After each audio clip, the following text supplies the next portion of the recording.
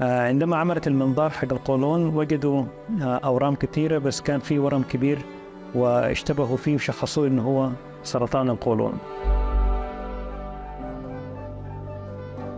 ومعظم العينات اللي تؤخذ من من المريض تكون في طابع طابع حميد بس بعضها يكون فيها تغيرات خبيثة بس في في بداية الأمور.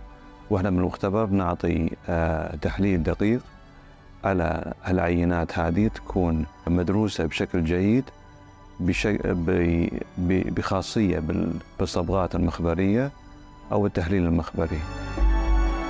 قعدنا مطولا أنا وياها حكينا بنتائج الفحوصات والصور والناظور يلي عملته وهذا الناظور أظهر وجود ثلاث أمكنة بالكولون الأيسر يلي كان فيها كتل لحمية كبيرة.